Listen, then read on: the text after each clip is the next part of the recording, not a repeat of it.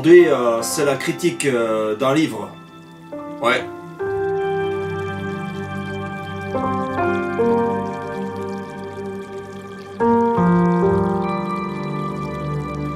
Je pense que ça va être euh, une vidéo particulièrement euh, pertinente. En plus, vous avez vu, j'ai fait un joli cadre pour donner du style, pour faire genre je suis très cultivé parce que j'ai des livres. C'est bon Je coche euh, tous les clichés, toutes les cases, euh, on peut y aller? D'accord. Bon. Alors aujourd'hui, euh, on va s'attaquer à un gros sujet quelque part parce que bah, je savais pas trop si j'allais faire cette vidéo-là dans l'optique des 30 jours d'écriture ou si j'allais la faire après. En tout cas, il y avait tellement de choses à dire que je m'étais dit, falloir la préparer. Donc exceptionnellement, j'ai écrit cette vidéo plutôt que simplement en faire un one-shot version vlog comme les autres vidéos. Ouais, tu t'en fous, bon, bref, on y arrive. Donc aujourd'hui, on va parler de MKV, euh, de Noémie Bourgois. C'est un diptyque. Donc là, en l'occurrence, c'est particulier, j'ai acheté euh, la version reliée du livre euh, en intégrale. Mais il faut bien comprendre qu'il y a deux livres ici. Donc on va parler plutôt d'un diptyque, mais quelque part, c'est la même histoire tout du long. Alors oui, tu me diras, dans les sagas, c'est toujours la même histoire. Mais de mon point de vue, qui peut se défendre ou pas, c'est une seule et même euh, intrigue euh, découpée en deux morceaux. Ouais, je pense que j'avance pas bien en allant dans ce sens-là. En tout cas, j'ai voulu le faire en une fois parce que euh, j'ai pas envie. En fait, je m'en fous, je vais faire la critique, ce sera plus simple. Voilà, oui. Mais avant toute chose, c'est important de se présenter, des fois que vous soyez nouveau sur cette chaîne. Euh, donc, euh, je suis Christian Kobilard, euh, jeune auteur, quand j'aurai fini de publier mon roman, du coup, parce que je suis toujours à ma première publication, qui a passé les dix dernières années à refouler les mêmes envies, avec l'écriture d'un roman, puis un certain relâchement, puis la réécriture du même roman, puis un certain relâchement, et ainsi de suite, ainsi de suite, avec les aléas de la vie, tout ça.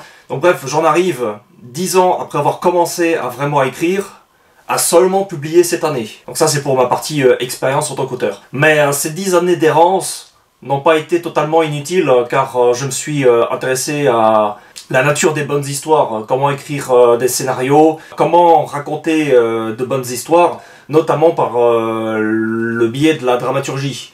Donc j'avais fait pl- plusieurs fois la promotion déjà sur cette chaîne, la dramaturgie de Yves Lavandier, qui est particulièrement euh, censée, même pour les auteurs de romans, alors que ça se consacre particulièrement euh, aux médias euh, vi- vidéoludiques, euh, ci- cinéma, séries télé, jeux vidéo, mais ça fonctionne également pour tout ce qui est écriture de romans.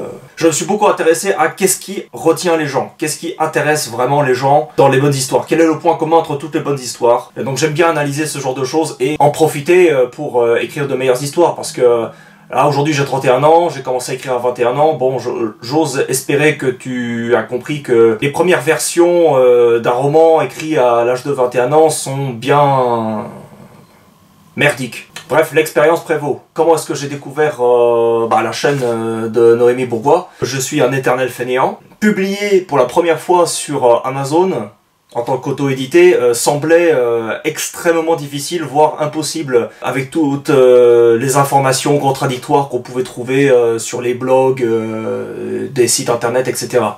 Donc je m'étais résolu à aller chercher une vidéo qui explique clairement comment publier sur Amazon KDP. Ce qui nous amène à Noémie Bourgois, parce que c'est la personne qui a fait, je pense, le meilleur travail de ce côté-là. Un travail de synthèse propre qui va droit au but, qui euh, ne part pas dans tous les sens euh, pendant 40 minutes pour nous expliquer quelque chose de simple. Non, elle nous montre point par point comment suivre toutes les étapes pour euh, publier notre roman. Et bah, c'est ça qui m'a beaucoup plu chez elle, parce que j'ai quand même appliqué les conseils, et ça a marché.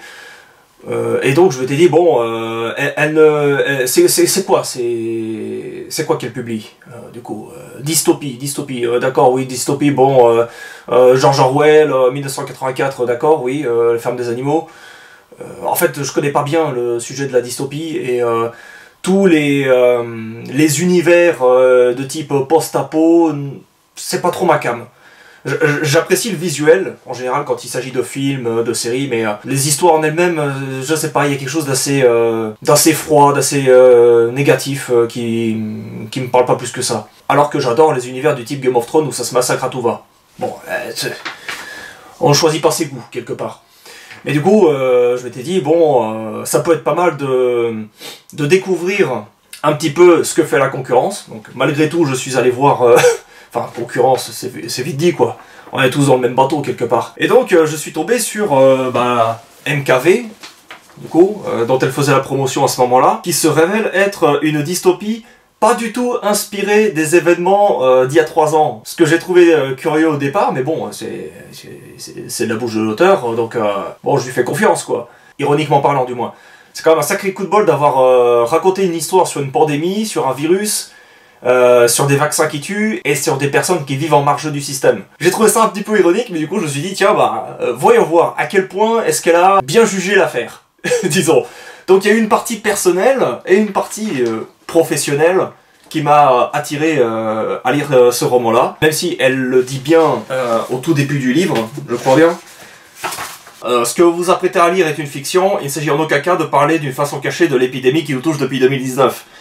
Les idées des personnages leur sont propres ne révèlent pas forcément celles de l'auteur. Merci de ne pas tirer de conclusions hâtives concernant les liens que vous serez amené à faire. Bon alors moi, en règle générale, euh, j'en ai strictement rien à foutre de ce que les gens pensent de moi, alors du coup, euh, je me dis, oh, franchement, on est obligé de... Bah oui, c'est vrai, c'est vrai. Aujourd'hui, on est quand même pas mal obligé de rester dans les clous pour euh, ne pas faire attention à froisser euh, l'ego de certaines personnes. Bon. Mais euh, j'ai trouvé ça intéressant. En plus, il faut partir du principe que ça remontait à une période, oui, il y a environ 6 mois, c'était une période. ça remontait à une période où ça faisait longtemps que je n'avais pas lu de fiction, de romans de fiction, quelle qu'elle soit. J'ai lu pas mal de romans historiques, de romans mythologiques, Conan, Bon, euh, Conan, ok, c'est différent. Mais c'est Conan, on respecte Conan. Bref, j'avais euh, un grand besoin euh, de découverte ou de redécouverte de fiction racontée sous la plume romancière. Il y a beaucoup de gens qui crachent sur l'auto-édition en disant que oui, c'est pas des vrais auteurs, regardez, il y a plein de fautes. Oh, c'est pas des vrais auteurs, regardez, ils n'ont pas été euh, c'est tous des auteurs ratés parce que euh, ils n'ont pas été acceptés par une maison d'édition. Moi, j'ai mon avis euh, assez clair sur, sur ce genre de, de pensée, ce qui m'amène à faire de l'auto-édition. Il y a peut-être du vrai, il y a peut-être du faux, donc il fallait bien... il fallait bien tester. Comment résumer simplement l'œuvre sans vous gâcher la surprise? Edan, jeune écrivain, voit son quotidien bouleversé par l'arrivée d'un virus mortel, le Mokola, baptisé MKV, provoquant une pandémie obligeant les gouvernements à prendre des mesures drastiques de confinement pour, en surface, protéger ses citoyens. Très vite, les libertés publiques sont abolies et Edan assiste, impuissant, à l'avènement de la tyrannie. Il est contraint d'observer ses proches subir les effets doubles de l'agent infectieux et l'enfermement sans pouvoir y faire grand chose. Cependant, les activistes de Sigurini désolé pour la prononciation, travaille dans l'ombre pour établir la vérité sur la collaboration entre l'État et le groupe pharmaceutique Kushmea, je suis toujours pas sûr de la prononciation, soupçonné d'être à l'origine du MKV. Nous allons suivre, au cours de ce diptyque, le point de vue d'Edan, qui est malgré lui poussé à prendre part et parti dans ce conflit. Déjà dans les euh, choses euh, qu'on observe régulièrement euh, quand on a l'œil attentif, l'écriture est impeccable. Je veux dire, c'est très lisible, on rentre là-dedans sans aucun problème. Même si j'ai quand même remarqué un petit passage dans les derniers chapitres de ce diptyque, du deuxième roman. Dans l'ensemble, le rendu est très professionnel, donc ça ne correspond pas bien aux clichés qu'on se fait euh, sur euh, les auteurs auto-édités, euh, n'en déplaise à certains. Il y a un grand nombre de chapitres, c'est des chapitres très courts. Vous lisez votre petit chapitre de 4 ou 5 pages à la fin de la journée, puis vous avancez à votre rythme.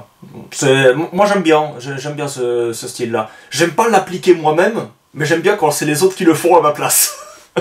Les noms des personnages euh, m'ont fait tiquer, bah, ils sonnent tous euh, très euh, anglo-saxons. Et vu les moyens qui sont mis en place bah, par le gouvernement pour opérer sa tyrannie, je me dis, ouais, il y a des chances que ça se passe aux États-Unis.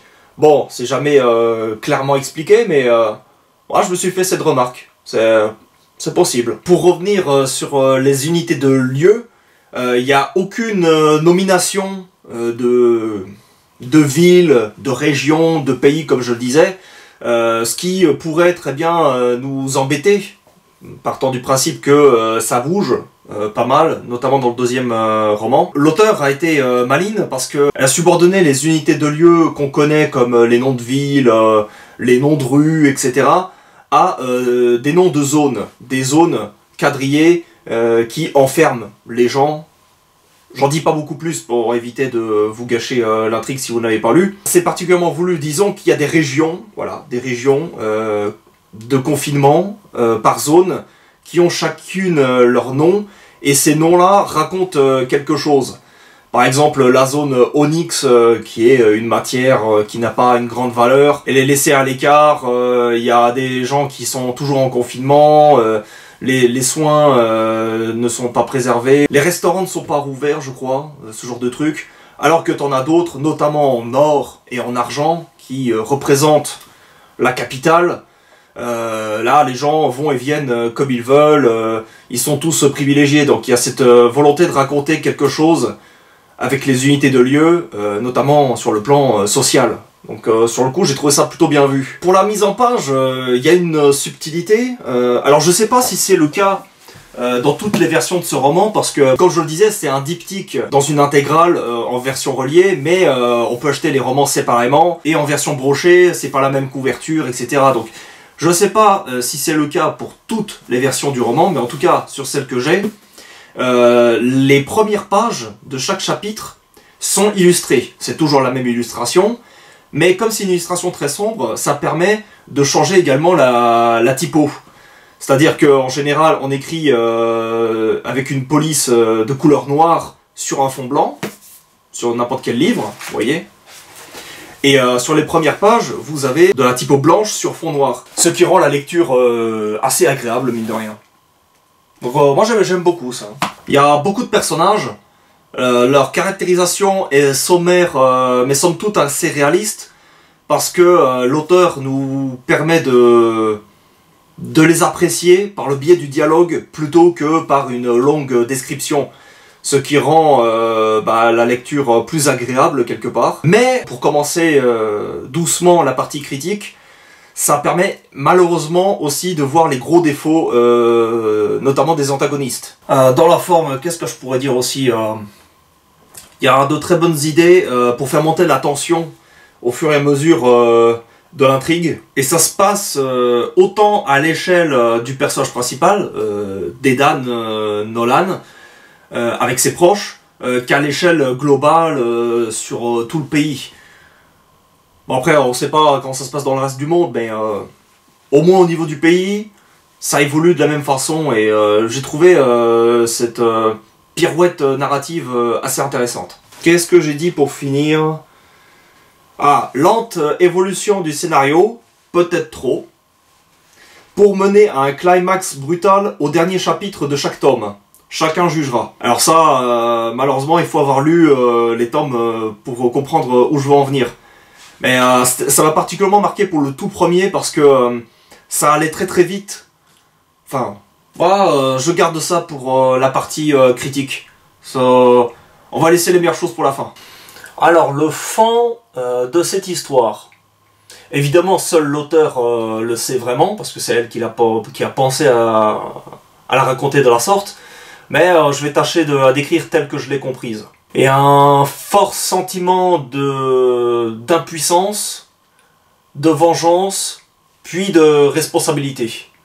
Dans cet ordre d'ailleurs. Des idées qui sont tirées de là en tout cas. La vérité comme le mensonge euh, se dilue entre les différents groupes, euh, que ce soit par la hiérarchie naturelle ou la hiérarchie effective. On a la notion du don de soi notamment, euh, de sacrifice euh, pour les générations futures. Enfin, euh, je l'ai noté quelque part. alors cette idée va certainement faire polémique, mais je dirais sélection naturelle pour les personnes naïves, trop émotives et inconscientes face aux signes de danger imminent. Je ne peux malheureusement pas en dire plus sans vous gâcher l'intrigue, mais il y a plein de petits moments dans le livre où il arrive quelque chose à des personnages qui sont tous de bonne foi. Bon, en même temps, tu me diras, vu, vu les antagonistes, euh, je peux me permettre de dire euh, qui sont les gentils, voilà. Les, personnes euh, qui sont bienveillantes, gentilles jusqu'au bout, en général, prennent très très cher. Et je sais pas si l'auteur a voulu raconter ça de cette manière, ou si c'était du sadisme, ou si c'était juste pour faire souffrir son personnage principal, mais... J'ai bien aimé l'idée que les personnes qui sont euh, trop attentives euh, au bien d'autrui avant le leur, euh, finissent par, par en prendre deux fois plus pour leur grade dans une situation où il vaut mieux faire profil bas. Pour finir, je dirais que ce qui caractérise le plus l'œuvre, de mon ressenti personnel, c'est le questionnement sur la notion de choix. Ah, ça y est, on commence à attaquer le vif du sujet. Quel est mon avis sur cette œuvre? Déjà, c'est assez compliqué parce que, comme on parle d'une dystopie, on est obligé, en règle générale, de prendre en compte tellement de paramètres que euh, il faut euh, avoir vraiment... En fait, je, n'aime pas la dystopie en tant qu'auteur parce que je trouve qu'il faut penser à tellement de choses pour se rendre crédible à 100% dans, dans sa manière de raconter l'histoire, que fatalement, soit on va se retrouver avec une saga euh, grande comme ça, en matière de volume, soit on va raccourcir tout ça et euh, se concentrer sur euh, ce qu'on veut raconter au départ. Et je ne doute pas du talent de Noémie Bourgois, seulement, à un moment donné, ouais, je pense qu'elle a dû faire un choix. Parce qu'il y a plein de petits questionnements qui ne trouvent pas leur réponse, alors qu'ils seront, ils seraient totalement légitimes de, les poser. Par exemple, euh, quid euh, du virus euh, à l'international? Parce que lorsque tout ça a lieu, je parle bien dans la fiction, pas dans la réalité, hein, lorsque tout ça a lieu, c'est uniquement le point de vue de la nation, donc du pays, qui, qui, préveut, qui prévaut. Oui. De gros, qu'est-ce qui s'est passé? Les autres pays, ils ont rouvert, le, enfin, ils ont refermé plutôt leurs frontières euh, avec le pays, on va dire avec les États-Unis, parce que moi je considère que ça se passe aux États-Unis. Le Mexique a refermé ses frontières avec les États-Unis, ce qui serait paradoxal d'ailleurs. Euh, le Canada aussi, etc., pour être sûr que le virus ne s'échappe pas ailleurs. C'est ça? Ah, Comme je le dis, hein, il n'y a pas la place euh, pour tout raconter, et la partie conceptuelle de l'œuvre, euh, elle est euh, beaucoup, beaucoup développée euh, dans le premier tiers du premier roman. Et après ça, on passe à, autre chose. Donc moi, je me pose toujours cette question. Et une question en entraînant une autre, comment est-ce que l'économie a pu survivre dans une pareille situation? Ah, Forcément, je me, je me, réfère à la réalité. Bah, normal. Mais on a vu ce que ça a donné, trois mois de confinement, de confinement réel du moins. après, c'était un peu plus compliqué parce que tout le monde s'est remis au travail. Mais là, on est dans une situation, dans ce roman, bon, je peux, je peux le gâcher ça parce que ça va pas nuire euh, à votre compréhension de l'œuvre. Euh, dans euh, MKV, le confinement dure 6 mois. Et tout le monde est enfermé, personne n'a le droit de sortir. Même pour promener le chien, rien du tout, rien, rien, rien. sachant que, d'après les, spécialistes, les psychologues, on peut enfermer quelqu'un que pendant deux semaines avant qu'il commence à vraiment péter un boulon. C'est pour ça d'ailleurs, bah, qu'on permettait aux gens de sortir euh, une heure dans la journée euh, pour faire ses promenades, etc. Là, en l'occurrence, c'est rien, rien, rien. Donc comment justifier euh, que l'économie ne soit pas écroulée, sachant que personne ne travaille à part les forces de l'ordre et militaires? Et théoriquement, les scientifiques aussi, bah, on voit le, père d'Edan, qui est médecin, qui continue à recevoir du monde. Et ensuite, comment est-ce qu'il est possible de justifier euh, que tout le monde soit enfermé pendant 6 mois et que personne ne pète un plomb? Alors euh, je veux bien que il y a des gens qui sont arrêtés euh, de manière brutale pour être emmenés on ne sait où. On finit par savoir le fameux de l'histoire. Mais ce que je veux dire par là, c'est qu'il est assez étrange qu'on ne voit pas plus de résistance à l'échelle de la population. Parce que oui, on a le groupe euh, Sigu, Sigorini. Sigorini. Ouais, Sigorini, ça sonne bien. Ça sonne bien, j'ai l'air de savoir ce que je raconte quand je dis ça. Sigorini. Donc on a bien le groupe Sigurini qui fait des actions activistes, disons, sur Internet, mais ils sont très rapidement cloués au sol, ce qui est assez réaliste en soi. Mais ce que je veux dire par là, c'est... Bon, on a un point de vue très citadin de cette pandémie. Maintenant, quid des campagnes, des campagnes profondes? Comment est-ce que les gens réagissent à ça? On ne sait pas. Parce que moi, je vais dire l'idée que j'ai derrière la tête. Euh, quand on me dit, euh, bon, euh, campagne profonde, à la limite, le cliché du chasseur qui a son calibre 12 dans l'armoire. à un moment donné, s'il y a sa famille qui est menacée et si les flics débarquent chez lui, ça peut très très mal finir. Donc je suis un petit peu euh, déçu de ce côté-là qu'on n'ait pas eu euh, le, point de vue euh, des personnes qui vivent, je mets des gros guillemets, en autarcie par rapport à la civilisation. J'aurais bien aimé avoir, avoir ce point de vue-là, que ce soit par le biais d'un personnage que l'auteur aurait rajouté, ou autrement. Hein, narrativement parlant, ça peut, se, ça peut se faire de bien des manières. Mais ça aurait fatalement rallongé l'intrigue principale. Donc fatalement, on fait des choix. C'est toujours pareil. Mon petit sucre à moi, c'est euh, d'où est-ce que l'État a le pouvoir, l'argent et les compétences pour mettre en place une telle tyrannie aussi efficace et sans défaut? Alors, je vous ai parlé euh, du, des zones, voilà, des zones qui sont des lieux quadrillés pour empêcher les gens de sortir et euh, d'aller d'un endroit à un autre. Donc moi, c'est le même principe qu'une région en réalité, euh, mais une région avec euh, des euh, limites frontalières.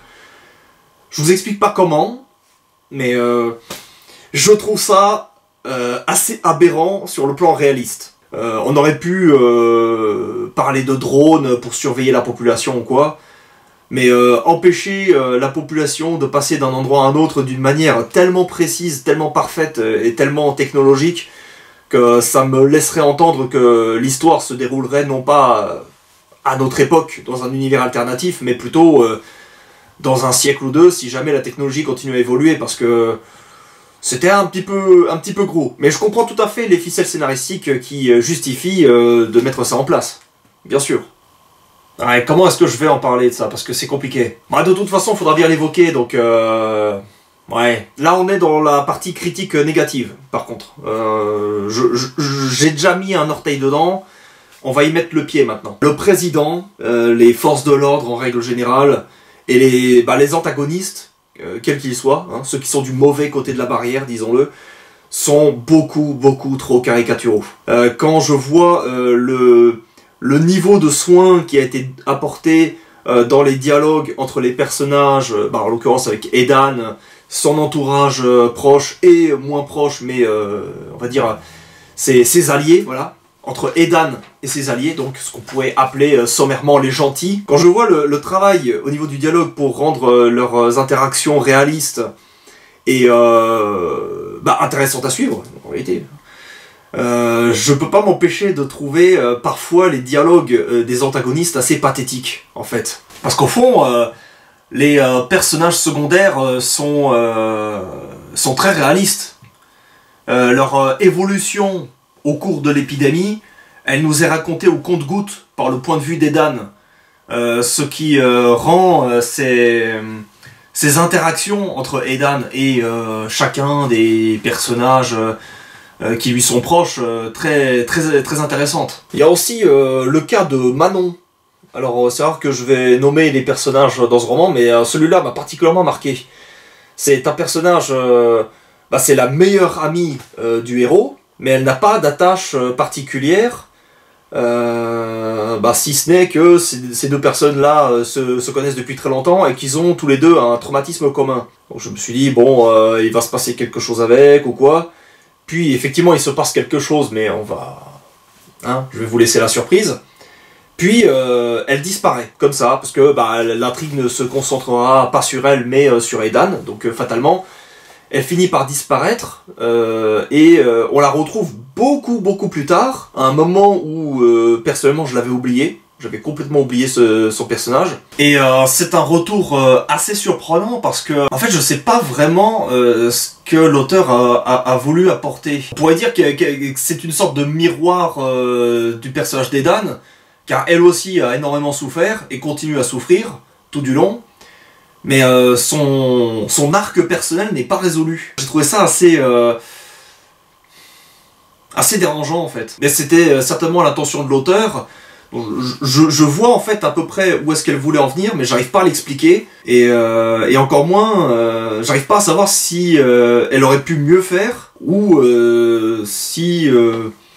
Enfin, j'ai l'impression qu'il me manque une clé euh, concernant le personnage de Manon. Peut-être euh, une référence euh, voilà, qui, touche personnellement l'auteur, mais moi je, n'ai pas, pas très bien compris le cas de Manon, dans, dans le- dans l'entièreté, dans son évolution et surtout dans sa finalité. Qu'est-ce qu'elle est censée apporter en réalité à l'intrigue? Le parti pris d'un huis clos dans la première partie de l'œuvre, ou du moins la première moitié du premier tome, je trouvais que la- cette partie-là était très intéressante. Parce que justement, comme on suit euh, l'histoire du point de vue d'Edan, l'évolution personnelle de chacun des personnages qui, euh, bah, qui lui sont affiliés nous est présentée d'une manière très intéressante. Euh, ils se parlent uniquement au téléphone, personne ne se voit. Il y a côté enfermement, comme dans une prison, euh, qui, qui, apporte une certaine ambiance que j'ai trouvé très, intéressante. En revanche, c'est là où je trouve qu'il y a un début de mollesse euh, dans le rythme euh, du premier tome, du moins. C'est que la deuxième moitié manque cruellement d'action. Et euh, lorsque, lorsque l'action arrive, c'est assez téléphoné et beaucoup moins maîtrisé que la première partie. La chasse à l'homme, toujours sans vous décrire de quoi il s'agit. La chasse à l'homme est relativement bien écrite, même si j'ai assez rapidement vu euh, les ficelles du scénario parce que il y a un parti pris euh, de séparer l'intrigue entre euh, protagoniste et antagoniste à ce moment-là, euh, qui est assez bien vu.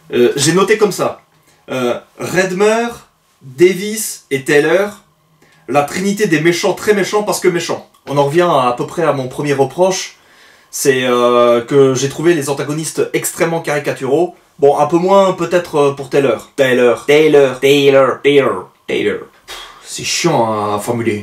Alors en l'occurrence, euh, je vais me concentrer sur euh, Davis euh, et euh, Redmer dans un premier temps parce que leur introduction, je ne plaisante pas, hein, je l'ai trouvé nanardesque au possible, car ils prennent en grippe le personnage principal, donc Edan. J'ai- vraiment trouvé la, la réaction des, des antagonistes beaucoup trop disproportionnée euh, par rapport à ce que fait Edan. Parce que Edan, en réalité, euh, il ne fait que euh, décrire une situation à ce moment-là. Enfin, il ne fait que venir en aide à une personne, voilà.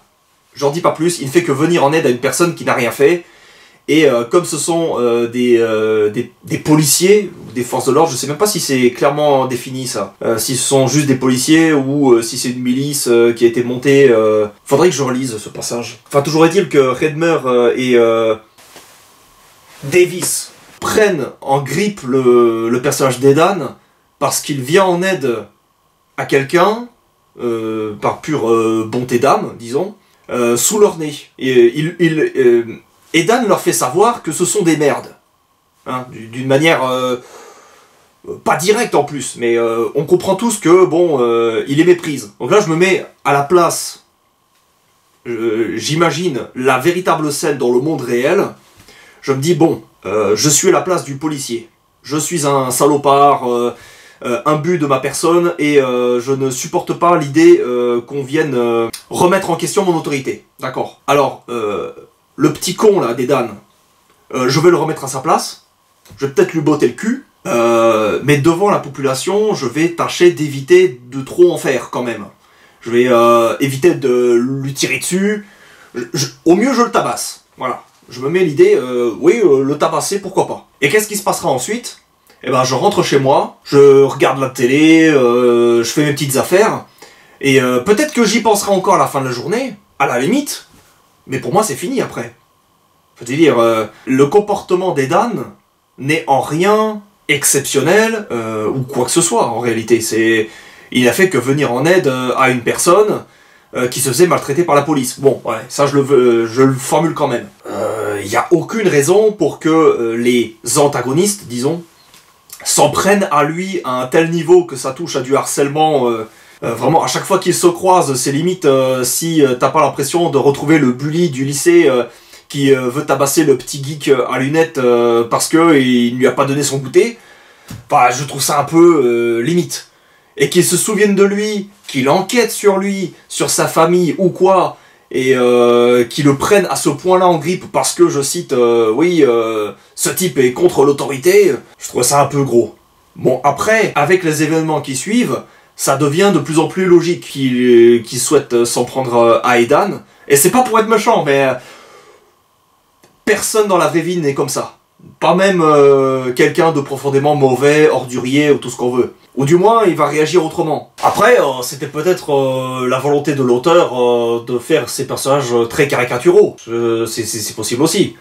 Mais vu la nature de l'intrigue et son évolution qui nous fait monter en tension tout du long, ça paraît assez étrange d'ajouter une touche d'humour pareil à ce stade-là de l'histoire. Parce que moi j'ai vraiment pris ça sur un ton humoristique j'ai pouffé comme, un gamin hein, en lisant ça. Je me suis dit, mais non, c'est pas possible. J'entends presque le, thème de la Team Rocket euh, en fond euh, dans mes oreilles. Et puis, il y a un autre problème majeur concernant les antagonistes, mais euh, j'y ai pas pensé sur le coup. Ils sont amenés, eux aussi, à apprendre la vérité sur ce qui se passe. La, la machination gouvernementale, les essais cliniques du groupe pharmaceutique, etc., etc.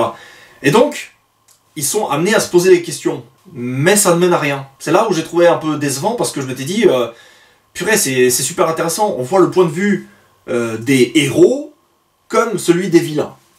Ouais, je, caricature moi-même. Ils apprennent les, dessous de l'affaire plus ou moins en même temps, ce qui, euh, en théorie, devrait les pousser à évoluer chacun de leur côté, faire évoluer leur point de vue sur le monde et quant à leur légitimité à combattre ce système ou à euh, combattre pour le système de d'un côté ou de l'autre. Et il y a un début de, questionnement qui va dans ce sens-là pour les antagonistes, je dis bien, mais ça va pas plus loin. C'est euh, ça se règle par du bon, on va euh, régler notre notre affaire d'abord, ensuite je sais pas, je veux pas y penser, on verra bien. J'aurais bien aimé que que l'auteur nous laisse entendre que les antagonistes pourraient se remettre en question, agir de leur côté après la résolution de l'affaire. Maintenant, agir de leur côté, ça voudrait dire quoi? Ça voudrait dire prendre plus de distance euh, par rapport au système, se rebeller contre ce même système? Je ne sais pas, mais en tout cas, euh, j'ai trouvé, trouvé que ça manquait de finesse. Euh, toujours, moi personnellement, bon, je vais l'avouer, j'adore les personnages antagonistes. En règle générale, ce sont mes personnages préférés parce qu'ils sont toujours pleins d'une certaine nuance. On est toujours tenté d'expliquer pourquoi ils sont mauvais. Alors quand je vois des personnages qui sont mauvais, juste euh, renfrognés, frustrés, il y a un petit manque. Il y a toujours un petit manque. Euh, dès, qu'il y a la possibilité d'en savoir plus sur eux et, euh, de les développer, je suis toujours pour. Et bah de ce côté-là, voilà, j'ai pas, j'ai pas vu mes, mes voeux exaucés, disons. Faut bien savoir que la critique n'est pas bonne ou mauvaise à prendre. Il s'agit d'un point de vue, euh, d'une seule personne. Moi, ce que j'aimerais en fait, c'est qu'on retire de ça ce qui pourrait être amélioré et non euh, le ressenti personnel. C'est pour ça que j'essaye le plus possible d'être euh, d'être synthétique. Faut pas oublier que c'est aussi un, un, ressenti personnel et que tout le monde ne verra pas les choses de la même manière. Bon, je peux attaquer le cas d'Edan. Ce personnage m'a mis en colère il, m'a. J'irais même jusqu'à dire qu'il m'a mis en rage. Il a un passé, d'accord, bon. Euh, il a des interactions sociales avec tout le monde, euh, euh, c'est quelqu'un de profondément altruiste, et il évolue tout au long de l'œuvre. C'est factuel, ça je ne peux pas le retirer. Donc, au fond, qu'est-ce que je peux lui reprocher? Si je devrais tout synthétiser en une seule phrase, ce personnage n'agit jamais, ou presque, par lui-même.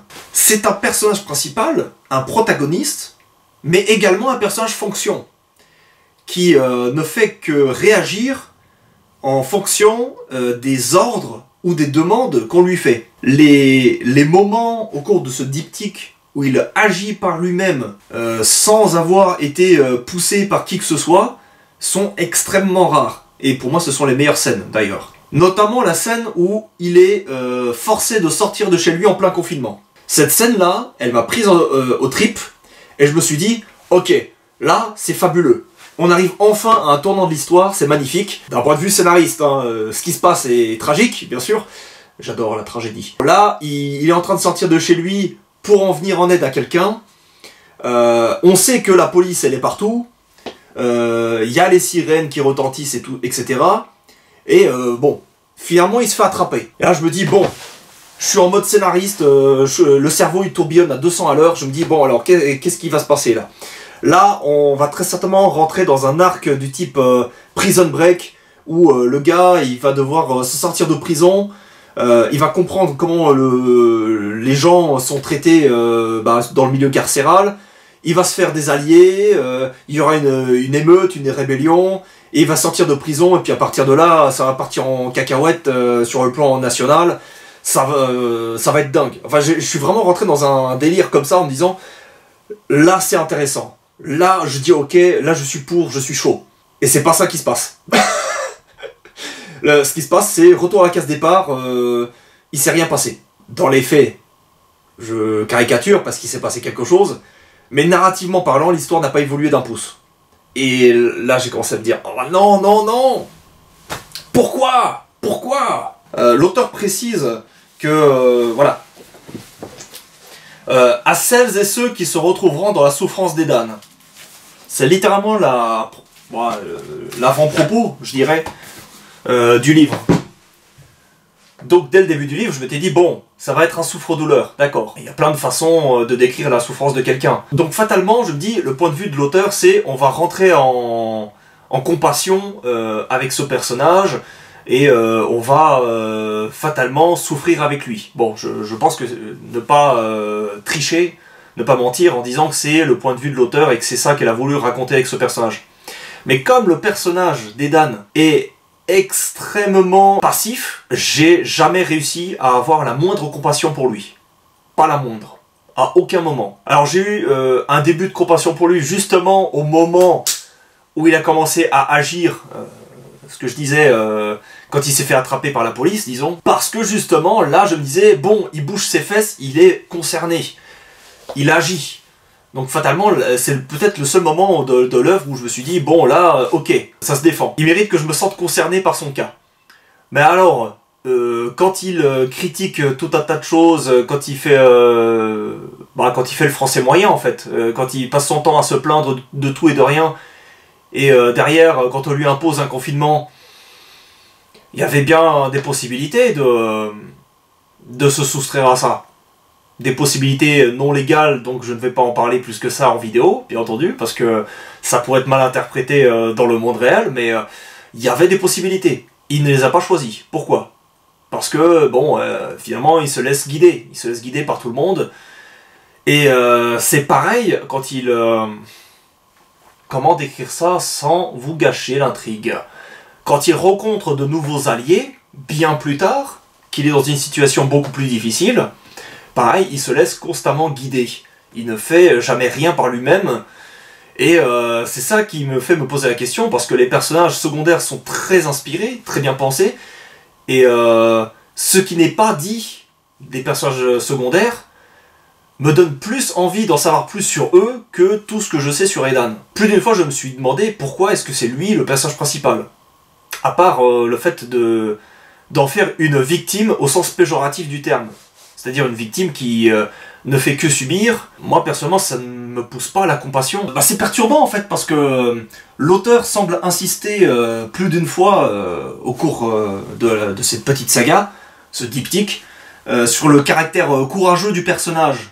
Euh, c'est souligné par les autres personnages. tout le monde dit oh là là, Edan tu es courageux, euh, Edan ceci, Edan cela. Mais en fait, euh, Edan, la seule chose qu'il a pour lui, c'est d'être une victime. Je ne nierai jamais le fait qu'il a beaucoup souffert, c'est vrai. Mais il n'a strictement rien fait pour se soustraire de cette souffrance. Du moins jusqu'à la fin de l'œuvre. Bon, c'est ce que je disais tout à l'heure, hein, le fait que c'est les derniers chapitres qui offrent enfin un début d'action pour le personnage principal, parce qu'autrement, c'est toujours les autres qui agissent à sa place.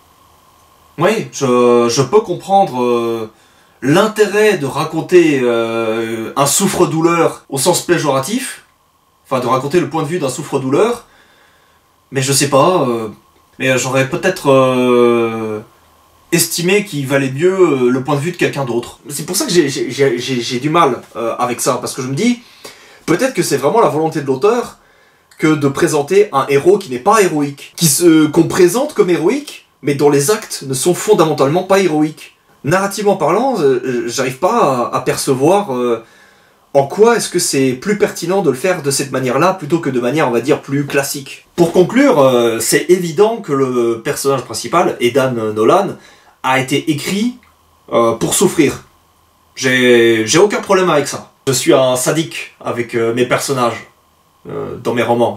J'adore les torturer. Mais Edan ne réagit jamais proportionnellement à la mesure de ce qu'il subit, en fait sauf à la fin de la première œuvre, enfin du, premier roman, et on l'aura attendu d'ailleurs ce moment, et euh, à la fin du second. Mais euh, suivre les personnages, euh, enfin suivre les aventures d'un personnage qui ressemble à un chien tenu en laisse pendant la quasi-totalité de l'œuvre, bah, c'est une expérience. Voilà. pour revenir sur une critique plus objective, je dirais que c'est une expérience. Mais moi, ça m'a pas plu. Mais c'est ça qui, est assez perturbant, c'est que l'œuvre est très bien écrite, il y a de très très bons concepts. Euh, vraiment, euh, elle n'a rien à rougir euh, à une œuvre de fiction qu'on pourrait trouver sur les bancs d'une librairie avec un éditeur officiel, quoi que ce soit. C'est juste mon, mon ressenti par rapport au personnage principal dont toute l'action est vue par ses yeux qui est négative. Donc ça me ça laisse entendre que euh, j'ai passé un très mauvais moment en lisant ce, livre ou quoi que ce soit. Mais, euh, mais non, non, non, ça a été une très très bonne expérience. Et euh, je suis persuadé qu'il y a bien des manières de rendre le récit insupportable ou quoi que ce soit. Ah, c'était vraiment une bonne expérience, vraiment. Malgré tout, ça m'a pas donné envie de lire plus de dystopie, j'avoue. là, pour le moment, on va, on va passer à autre chose. Tiens, d'ailleurs, je vais aller le chercher. Bah. Alors, vous voyez ça? Ça, c'est euh, la prochaine œuvre que je vais devoir euh, lire, cogiter et euh, critiquer. Alors, en plus, ça va être une œuvre de, de fantasy, de ce que j'ai compris, ou d'heroic fantasy, ou quoi, avec un personnage principal en antagoniste. Enfin, un, un, un méchant comme personnage principal. Ça, à tous les coups, ça va beaucoup plus me parler. Parce que je, le disais tout à l'heure, euh, le, principe euh, de la dystopie, euh, je suis curieux mais pas forcément client. On verra bien ce que ça donne. Cette critique m'a été inspirée parce que j'ai été voir bah, quelles étaient les critiques sur les, sur les réseaux, notamment dans les commentaires des pages produits d'Amazon. Et je trouvais que, bah, que tout le monde avait adoré de manière unanime alors peut-être que toutes les personnes, parce qu'en l'occurrence, de ce que j'ai compris, la, chaîne de Noémie Bourgois est vraiment euh, très axée euh, dystopie, enfin du moins sur les récits dystopiques. Donc peut-être que les lecteurs sont des, des, fans euh, du genre. Encore une fois, je le dis, sur la forme, c'est parfait. sur le fond, il y a quelques couacs, il y a quelques...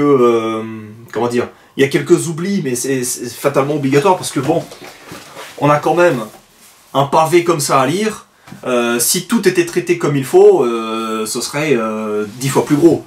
Ce serait une saga de plusieurs volumes, pas deux seulement. J'ai fini de lire, je crois, il y a trois ou quatre semaines, et bah, j'en ai gardé un bon souvenir. Et quelque part, est-ce que c'est pas ça le, fameux de l'histoire? Est-ce que c'est une bonne histoire? Oui. Est-ce que c'est bien écrit? Oui. Maintenant, bon, les goûts et les couleurs, pour le reste, donc euh, oui, je, vous conseille bien évidemment euh, de vous procurer euh, ce livre et les autres. J'ai oublié comment il s'appelle. Le dernier né, je crois, c'était le premier. J'ai pas acheté. Les, origines, voilà, les origines, le dernier né. tu sais quoi, chanson-les. Alors ça c'est, ça a été écrit à deux, si je ne dis pas de bêtises.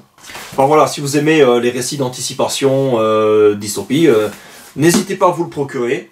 La couverture, j'en ai pas parlé, mais la couverture, euh, sobre, efficace, tout ce que j'aime. Si c'est pas déjà fait, euh, je vous invite euh, bah, à suivre l'auteur Noémie Bourgois, qui est à l'origine de ce roman, qui fait des vidéos toujours très intéressantes. Et euh, bon, si vous avez aimé cette vidéo, c'est quelque chose que je dis jamais parce que bah on s'en fout quelque part. Et euh, c'est le côté publicitaire, il le faut. N'hésitez pas euh, à vous abonner à ma chaîne et à commenter, à faire valoir vos propres critiques. Parce que c'est pas, c'est pas parce que vous êtes abonné à ma chaîne que quand vous allez lire mon roman, il faut en faire une critique dithyrambique. Et pire encore, en faire une critique... oh là là, meilleur livre du monde euh, alors que vous l'avez même pas lu. Je veux dire, il euh, n'y a pas besoin d'avoir des fans, il y a besoin d'avoir des, lecteurs euh, qui, qui vous font un retour construit, argumenté, et j'espère, à, mon échelle, avoir fait un retour construit, argumenté dans cette vidéo.